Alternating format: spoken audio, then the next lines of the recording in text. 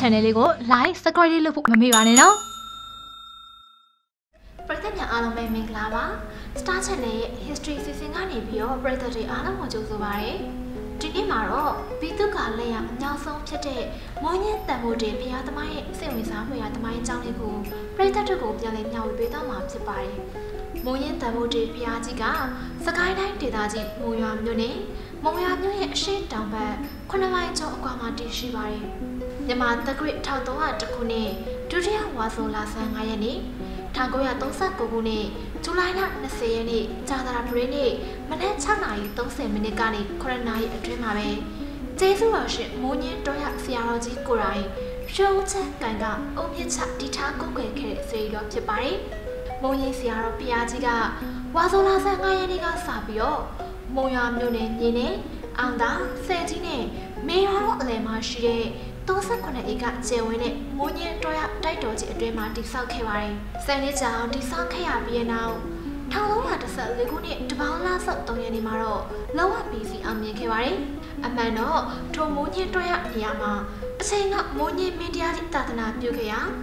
မိုးညင်းကြောက်တိုက်မိုးညင်းမင်းကြောက်တိုက်ဆိုပြီးတော့ရှိခဲ့ပေမဲ့လေနှစ်ကာလကြာတဲ့အခါမှာတော့တိတ်ကောပေါက်ရောက်လို့ဖြစ်ခဲ့ရပါတယ်။ရခင်ကထိုနေရာကိုမြင်းနဲ့တွားလို့ခေါ်ဆိုကြပါတယ်။ လူသူနဲ့ကင်းဝဲပြီးတော့နယ်မြေကျန်းတာကြောင့်အသွားလာမရှိတဲ့နေရာလေးဖြစ်ပါတယ်။1983ခုနှစ်ဝါဆိုလာမှာတော့ဒေါ်လာစောက်တီသတင်းသုံးဖို့မထေမြတ်တပါးရောက်ရှိလာရကနေသာသနာတော်စတင်ထွန်းကားလာခဲ့တာဖြစ်ပါတယ်။မထေမြတ်ကအခုချိန်မှာမိုးညင်းဆရာတော်ကြီးတို့အမေကြီးကြော်ကြားနေတဲ့ရှင်သူမနာပဲဖြစ်ပါတယ်။ရှင်သူမနာမထေမြတ်ကမြေနေတော်ရအကြောင်းနေရာကိုရောက်တဲ့အခါ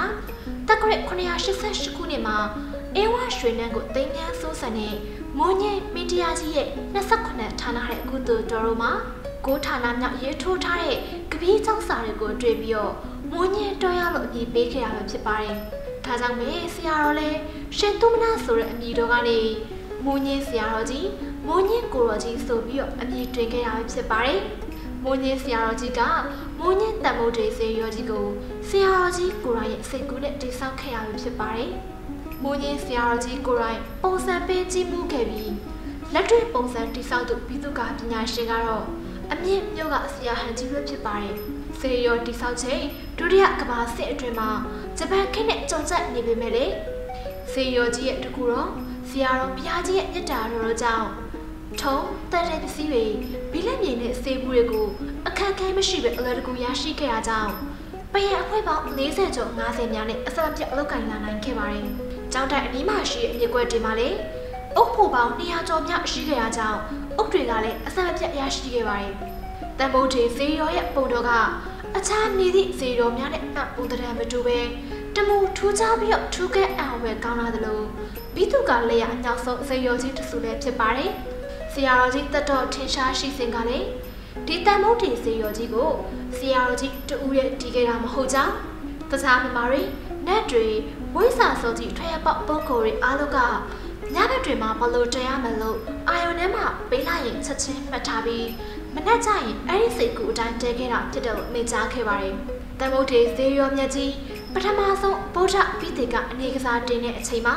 မိုးရင်ဆရာတော်ဘုရားရဲ့မွေးနေ့တော်က83နှစ်မြောက်ရှိပြီဖြစ်ပါတယ်။အဲ့ဒီချိန်တုန်းကဒုတိယကမ္ဘာစစ်မီးကလည်းအာရှတိုက်ကိုကူးဆောင်လာခဲ့ရကြောင်း1303ခုပြာတော်လာဆန်း9ရက် 1942ခုနှစ်ဒီဇင်ဘာလ23ရက်အင်္ဂါနေ့မှာဂျပန်လေယာဉ်တွေကရန်ကုန်မြို့ကိုစတင်ပုံကျဲခဲ့ပါတယ်။ထိုအခါလူတွေကဘုံဘေးကအဝေးရမိုးညင်းတော်ရကိုတွားရောက်ခုအောင်ပြီးတော့မိုးညင်းဆရာရဲ့တရားတန်ကိုနာခံရင်စိတ်ရဲ့အနိဋ္ဌာယုံတွေကိုကြော်လွှားနိုင်ခဲ့ကြပါတယ်။ဒီနေ့မှာပဋ္ဌာန်းအဓိပတိဓမ္မယုံကြီးပေါ်မှာမိုးညင်းအရှင်ရဲ့တန်ဃာတော်တွေက ယောဂီပရိသတ်တွေကိုအင်းကြီးစွာတရားဟောကြားပြသနေပါတယ်။ထိုအချိန်မှာကောင်းကင်မှာဖြတ်တန်းသွားတဲ့လေယာဉ်တစ်စင်းကရုတ်တရက်ဘုံသုံးလုံးကျဲချလိုက်ပါတယ်။ဒါပေမဲ့ထိုဘုံတွေကပောက်ကွဲခြင်းမရှိဘဲနဲ့တန်ဘုတ်တွေစီရောမြက်တက်ထားပုံထားတဲ့တဲပုံတွေကိုနှိမ့်ညွတ်သွားပါတယ်။ဘုံကအတန်မမီရကြောင်းအနည်းရှိလူအကုန်မသိလိုက်ကြပါဘူး။တရားပွဲကလည်းဟောမြဲဟောရက်ပင်ရှိပါတယ်။တကယ်လို့အဲ့ဒီဘုံသုံးလုံးသာပောက်ကွဲလိုက်ပါက တိဆောက်နေတဲ့တန်ဘုတ်တွေဈေးရောမြက်ကြီးနဲ့အနီးမှာရှိပရိသတ်တို့အတွက်ကတော့မတွေ့ရအောင်မရှိပါတော့တယ်။တန်ဘုတ်တွေဈေးရောမှာ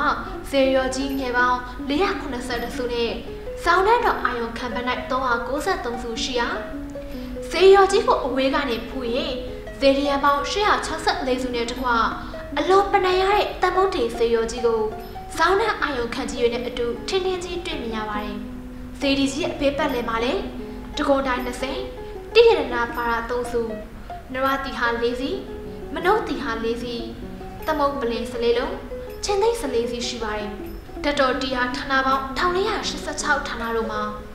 မြတ်စွာဘုရားတတော်ပေါင်း38,900နဲ့ရဟန္တာတတော်ပေါင်း81,500တို့ကိုအနေရကင်းကြီးရွယ်နဲ့ကွာတိထားကိုခွဲထားပါတယ်။တမုတ်ထေစရိနဲ့စောင်းထက်အာရုံခန့်အတွင်းတို့မှာလည်း တောင်ပြထိုင်တော်မူ68စုနဲ့ရက်တော်မူ196စုရှိပါတယ်။ဘေးကင်းရန်ဝိတ္တတခုဖះတို့မှာတော့ဇေရောပန်းနိုင်အစု900အာယုံကပန်းနိုင်956စုနဲ့စောင်းထက်ဘက်မှာတော့438စုစုစုပေါင်း1694စုရှိပါတယ်။ဇေရောကြီးရဲ့အတွင်း၌အပြစ်ထက်အလေထက်အတွင်းထက်ဆိုပြီးအထက်သုံးထက်ရှိရကြောင်း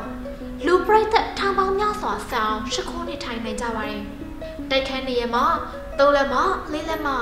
၆လက်မ၉လက်မနဲ့တပည့်စသည်ဖြင့်ရုပ်ပွားငယ်ပေါင်း9သိန်း8တောင်2259စုတို့ကလည်းအောက်ခြေကစပြီးတော့အထက်ထိအတန်းလိုက်မြညာညာအကန့်ကဆင့်ကဆင့်ကကဲဝတ်ဆံပတော်မူလျက်ရှိကြရဖျားဖူးတွေကဖူးရီမကုံနဲ့အောင် အောက်ခြေကလည်းဖျားအထက်ကလည်းဖျားမျက်နှာမူရမှာလည်းဖျားနောက်ကလည်းဖျားဘေးနှစ်ဖက်ကလည်းဖျားဖျားပေါင်းညများစွာကိုဖူးမြော်ကြရပါတယ်ပ ထမအကားတော့အရာရုပ်ပွားတော်ပေါင်းက9သိန်း1028ဆိုရှိရမှာဖြစ်ပေမဲ့လေဒုတိယကားတော့အရာခဲကောင်ဝါလို့တဲဆုမကပွင့်တော်မူပြီးရဲ့ဖျားရှင်တို့ကိုရည်စူးထားပါတယ်ဒါကြောင့်မြရွှေငွေစိတ်သေးဆောင်ရုပ်ပွားပေါင်းဟူတဲ့တမိုင်းလင်ကအရာရုပ်ပွားတော်ပေါင်းကလည်းအတွင်းအပြင်9သိန်း8363ဆိုရှိပါတယ်40နဲ့နှစ်တကားလက်တက်ဖြစ်ဒီမှာ22တာရအရာ တကားပေါင်းတက်ဖို့ဆင်းဖို့တကားပေါင်း22ပေါက်ရှိပြီးတော့ရိုးရိုးတကားပေါက်ကတော့20ရှိပါတယ်တန်ဗုဒ္ဓေဇေရောအတွင်းမှာရှိတဲ့တိတ်ထီပေါက်ဇေရောနဲ့တန်ဗုဒ္ဓေကြီးမြေပေါ်မှာရှိတဲ့အပန်းဇေရောကလည်းအထူးပြုဖူးတွဲတဲ့နေရာတွေဖြစ်ကြပါတယ်နောက်တဲ့နေရာကဘော်ရီတိုင်းရဲ့အရှိဘက်ရိတ်သားရဲ့အနီးမှာရှိတဲ့ရေတွင်းကြီးပဲဖြစ်ပါတယ်တန်ဗုဒ္ဓေဇေရောကြီးတိဆောက်ရမှာ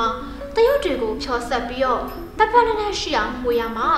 စီစုံနဲ့စီချစ်တယ်လို့စီစုံလက်ဝန်းပမာဏ area အကျဲပပလင်နိုင်ဘိန်းလက်အနက်နှစ်ပေခန့်ရှိအစဝိုင်းတဲ့ညောင်းတူရပါတယ်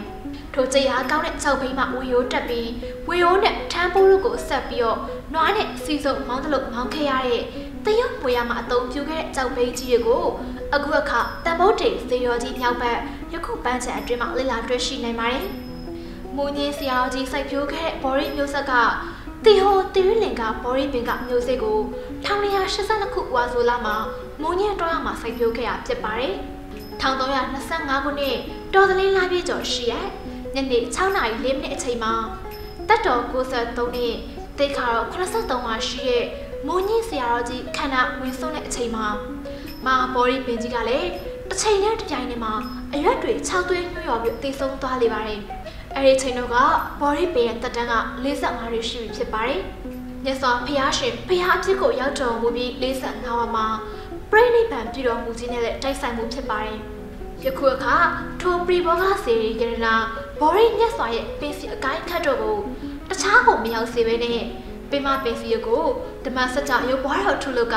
ထိုနေရာမှာပဲပူဇော်ထားတာကြောင့်ထိုဘော်ရီမြတ်ဆိုင်ရာမဟာဘော်ရီနေရာတစ်ခုဖြစ်ပါတယ်။ မိုးညင်းတန်မုတ်ထေစေရောကြီးကထင်ရှားကြော်ကြားသလိုတာသနိကအစအုံများစွာကလည်းထင်ရှားကြော်ကြားပါတယ်။တန်မုတ်ထေစေရောအာလီ90ခေါ်တာဝရိတာဆူလာမလီစေရီတော်ကမ္ဘာအကြီးဆုံးစင်ခံဖျားနှစုဝိပဿနာတရားပွားများအားထုတ်ရာပဋ္ဌာအဓိပတိဓမ္မယုံကြီး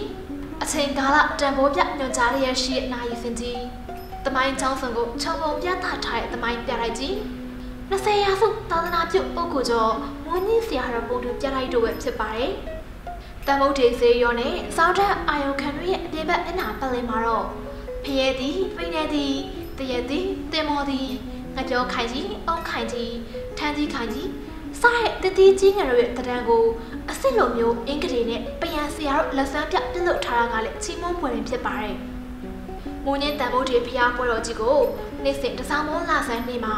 ဈေးပွဲ၊ဇက်ပွဲ၊စုံလာပွဲ၊ပျော်ပွဲရှင်ပွဲတွေစုံလင်သွားတဲ့အကျဉ်းပါတာလည်းအခုတိုင်ပဲဖြစ်ပါတယ်။ကစားမုံလာပြည့်တဲ့မနက်ပိုင်းမှာတော့ညသပိတ်မဲနဲ့ဖျားတိုင်ရတာရွေးက